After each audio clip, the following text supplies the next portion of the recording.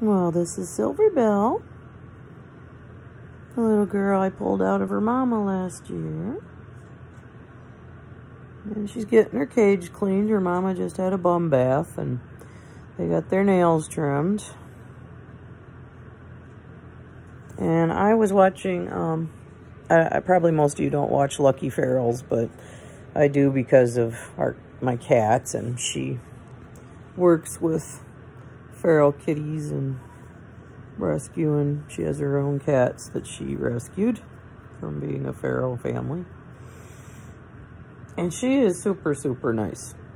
But she's got a premiere going on now, so there's a chat going. And um, her people, it isn't like when uh, Saskia does a live stream. It's like we all ask about guinea pig issues and we talk and stuff. But these people seem to have their own private little conversations going on, and I really don't know what's going on. And I said hi, and they said, hi, Kaye, long time no see. So somebody remembered me, but this other lady asked if she could follow my channel, and I said, sure. But she said, oh, wait, you're a guinea pig channel.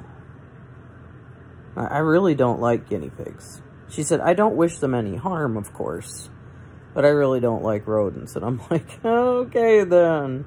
You know, I wouldn't have said that. Um, now personally, I don't really like snakes because they eat critters, but that's just because of what they eat, which is, I understand, not their fault. But, you know, okay, I don't really like snakes, but I wouldn't go on a snake channel and say, oh boy, I don't like snakes. Can you imagine? So, but yeah, this was a cat channel but all the same, you know. So it's it's a different group of people, and I really like our people. Our people are nice. Don't you think? We have such nice people. And I really appreciate that. Yes, yes, yes, yes. yes, we do, Silver Bell. We appreciate you. Oh, well. Yeah. Okay, we'll talk to you later. Paw prayers.